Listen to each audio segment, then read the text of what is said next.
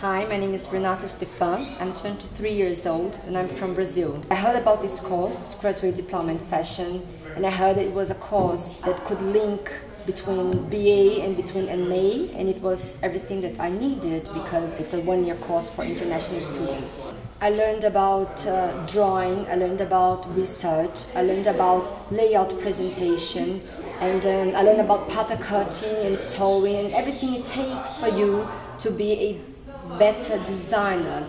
And of course, this course, it doesn't teach from zero. You have to come here and have to be able to sew and to, um, and to draw and to put your ideas on the paper. It's very intense course and you have to work really hard because the critics are really honest because that's the point. They want your work to get better and better. You will end up this course with a very, very professional um, level of work and portfolio. It's the best college and the tutorials is the best tutorials as well. So I suppose that if you really want your work to be the best that it can, then you should apply for Central St. Martins and, and you should apply for graduate diploma as well if you're looking to apply for other courses after or to get a job in the industry, then that's the perfect course for that.